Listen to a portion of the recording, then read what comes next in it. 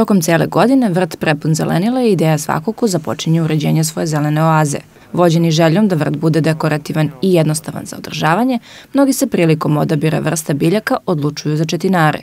U rasadniku Topalović kažu da su im najprodavanije tuje. Od tuja najprodavanija, najprodavaniji četinar je smaragd, smaragdna tuja koja je pogodna za žive ograde, e, takođe može biti kao pojedinačna biljka koja je sređena u spiralu.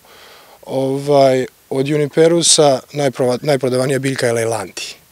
E, takođe pogodna za žive ograde, e, može se i ona isto formirati u spiralu, u kuglu.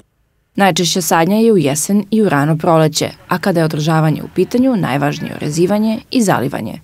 Rezivanjem vi omlađujete biljku ili formirate da vam što bude lepša u vašem vrtu dvorištu.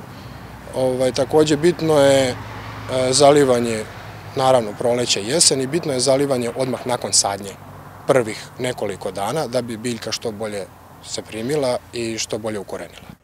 Prskanje dekorativnih četinara zaštitnim sredstvima treba raditi redovno, jednomesečno, počevši od aprila, odmah nakon čišćenja i orezivanja.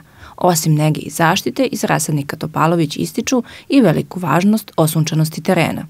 Neke biljke e, ne trpe veliku količinu svetlosti, neke ne trpe veliku hladovinu i tako da mora, mora se i o tome voditi računa. Neka biljka mora bude u polusenci, zavisi kako koja.